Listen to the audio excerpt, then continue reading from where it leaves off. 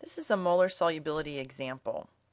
What is the molar solubility of copper 1 bromide in a 0.5 molar sodium bromide solution?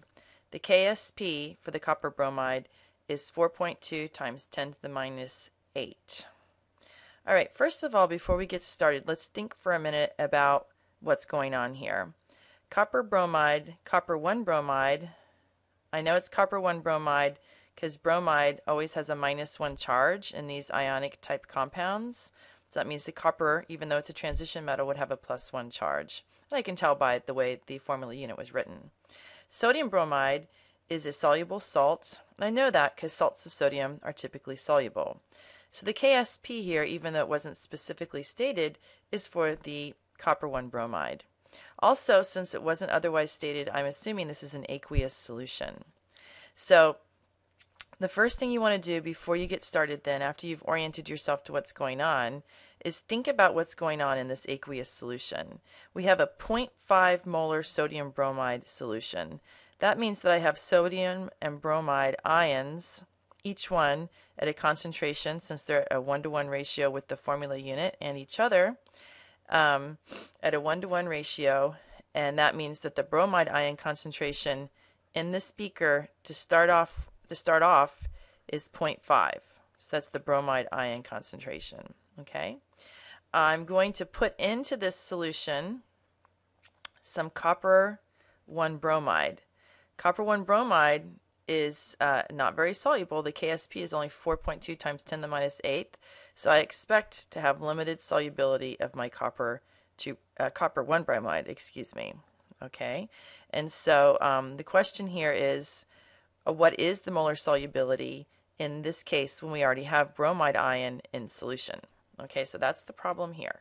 So the first thing you want to do then is um, write down the um, the uh, the equation copper 1 bromide will dissolve to a limited extent to give copper ions in solution and bromide anions in solution. That's your reaction. Reaction, um, initially, of course, we never have to worry about the solid, what's going on with the solid, because there's so much excess solid, it doesn't factor into this expression. But initially, we're going to assume that we have zero concentration of the copper, and we have to start off with a 0.5 molar concentration of the bromide ion. And then as this particular um, salt dissolves to a limited extent, the, so initially we're going to have that. The change is going to be, this is the reaction, this is in the initial condition. The change is going to be, since it's, it's going to dissolve in a one-to-one -one ratio, so I'm going to form a little bit of uh, copper ion, we'll just call that X, and a little bit of bromide ion, we'll just call that X. So in equilibrium, when the, we reach the point of saturation, the amount of copper ion is going to be X, but the amount of bromide ion is going to be 0.5 plus X.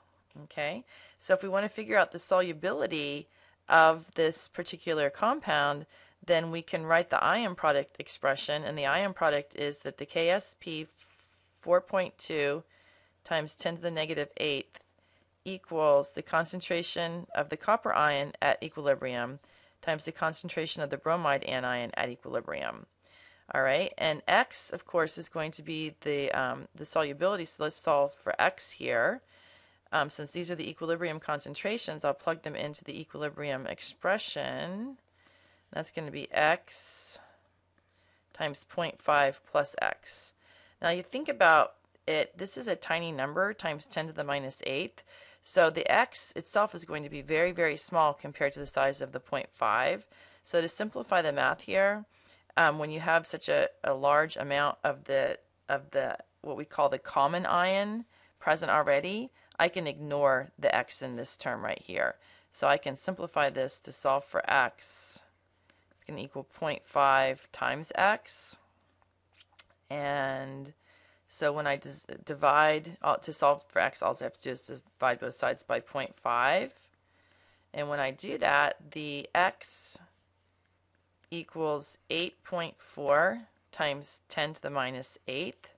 X equals the concentration of the copper ion, um, not the bromide ion because the bromide ion is much higher, Uh, so that's the concentration of the copper ion in this particular solution at saturation because of the presence of the common ion.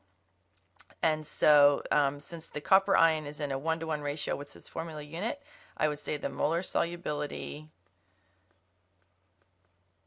in this case, in the case with the common ion present, for the copper 1 bromide equals 8.4 times 10 to the minus 8 mol molar.